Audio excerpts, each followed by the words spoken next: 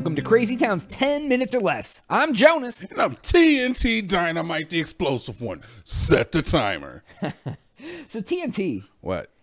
I uh I'm I am gonna be real here. I am not a big fan of dating sites in general. Okay. But my question is, since pandemic, now that we've hit pandemic two years, yeah. it's not really easy to go out and meet a lady or a man if you're whatever you, you know you want to date. I don't know what you're trying Oh. to insinuate for I'm not trying to me. All I'm saying is, but yes. I know that I- both I, of I us see where you're going. have been dabbling on Tinder during the pandemic. Well, it's funny you should bring that up, Jonas. I actually just went on a Tinder date today.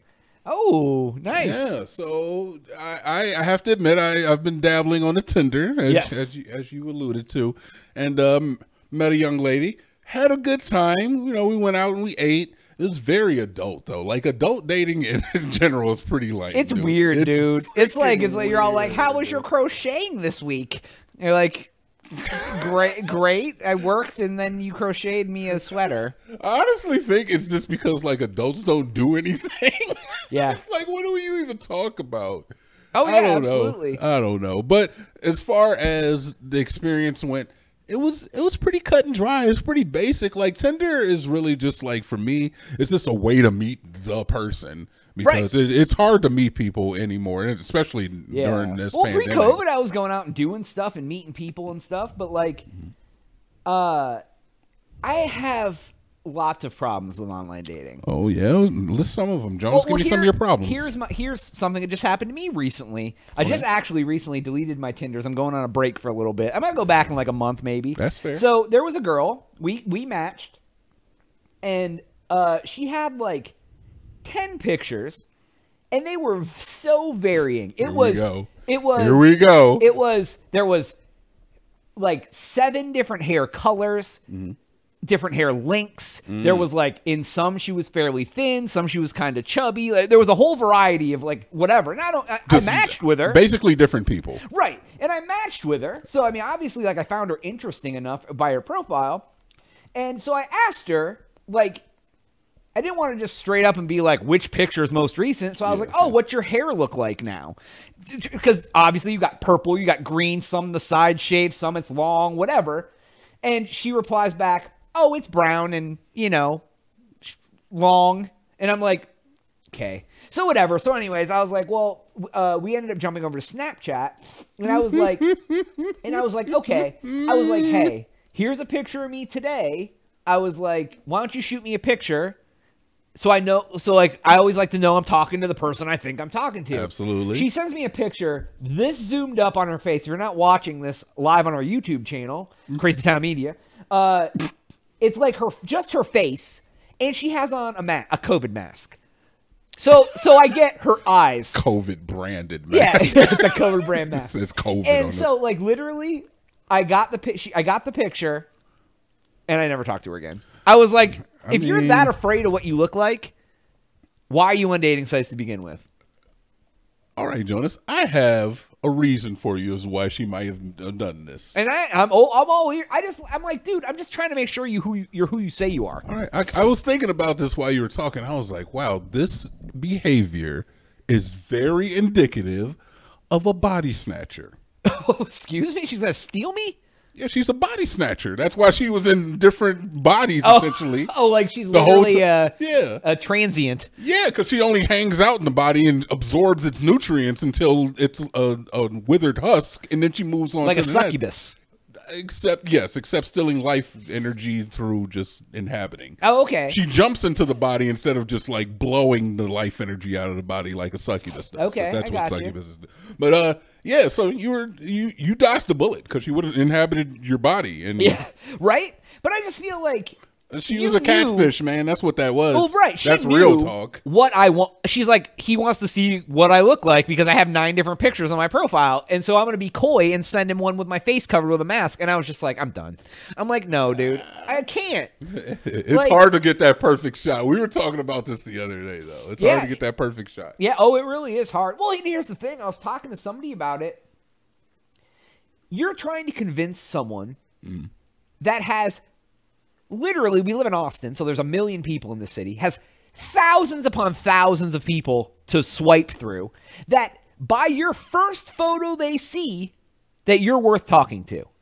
Mm. It doesn't matter what you put in your profile. It doesn't matter. Mm. It's like you're literally going by one, three seconds of would I bang this person is essentially what people think. Wow, you know when you put it like that, it is a very like carnal and visceral thing. Oh, absolutely. Where it's just like, does this hunk of meat in front of me do Spur me anything? enough to at least read about them. Yeah.